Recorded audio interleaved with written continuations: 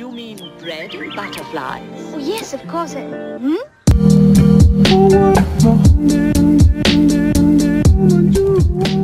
Okay, it's my third try at recording this.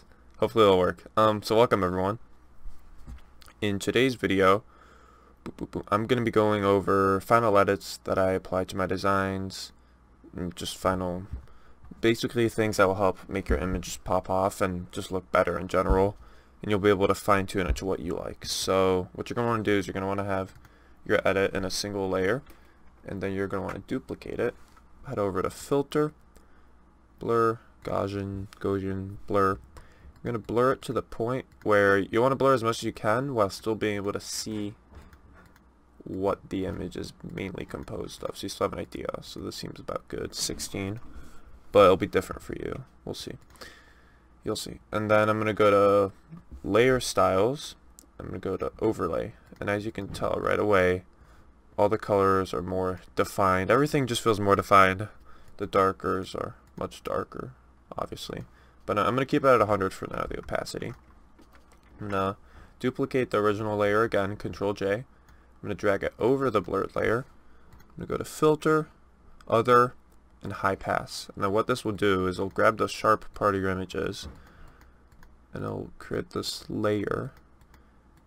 And so you want to push it to the point where you don't see too many shadows, too many halos is the term, I guess.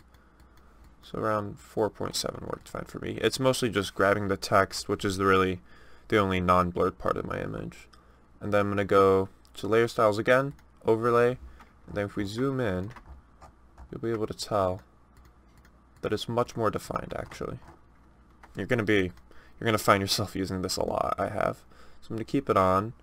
Then I'm going to lower this to a point that I like. 88% is fine. So already we've really changed the whole image. Um, but now we're going to go a step further. We're going to select the top layer, bottom layer, while holding shift, so select everything, and then control E will merge everything. Ideally, you'd group it, create a new group, and then click control E for that. So you can have your old layers, but we're not too worried about that right now.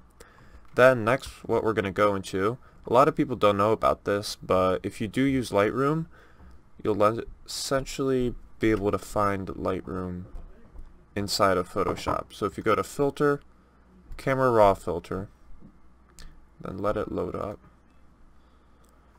you'll notice that you have all the edits that you can make on Lightroom right in Photoshop. So this usually you just go through like you would sort of edit a photograph or a picture. Obviously this isn't a photograph or a picture, but you can do the same HSL adjustments, which is really the most important part of this.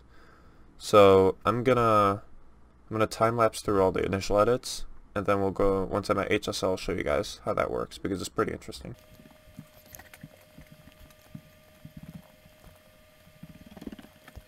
Alright, so I am in the HSL adjustments which stands for hue, saturation, and luminance. What it allows you to do is allows you to go through each color, so there's red, orange, yellow, greens, aqua, blues, purples, and magentas. And it'll let you change, well, the hue, the saturation, and the luminance. And this is quite useful, especially for quite a colorful edit, because it allows you to fine-tune each color to the point where you can really have a color scheme throughout your edit without having to plan it out at the start, which is why I love this, because I usually don't, I try to focus sometimes on color schemes at the start of an edit, but you'll tend to notice that towards the end when you can fix up the color scheme it makes it look much nicer. So usually I just go down the list. I can tell maybe I want to keep the reds in so I'm gonna drag the reds a bit to the left keep them more purple. The oranges I'm gonna drag pretty far left. The yellows I'm gonna turn into oranges. Now we've got a dominantly red to orange feel. Alright for the greens I'm thinking could have like an mm, turn a bit to a yellow actually. So we'll make the aquas a bit more green. Ooh. Oh we could have like an orange yellow teal mood. So actually yeah we're gonna do that. Then the purples we're gonna make it more blue. Magentas we don't really have any. And then you can go to the saturation. It's essentially the same. And really, because there's so many sliders and they're all individual, you can uh, you can just go back and forth and down the list and figure out what you like, fine tune it to the point where you like the image. And so yeah, that's pretty much it. And then a final thing that I do like, so I've saved this, I'm going to duplicate it just in case because I want to keep a, a cleaner layer. And I'm going to go back to filter and camera raw filter and it won't save any of these edits, it'll reset, so keep that in mind when you click OK when you're done. Then we go to effects and then grain. And the reason why I use this grain is because you can change the size and the roughness here, which you cannot do that through the noise filter, which is why I prefer to add my noise through this grain filter right here. I usually keep the size to around 15. The roughness, I like to keep it pretty high up, but I feel it would look nice if I keep it down on this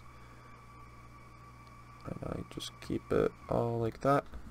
There we go. We've got a finished product. And so we compare that to what we had at the start, as you can tell, it looks much, much better.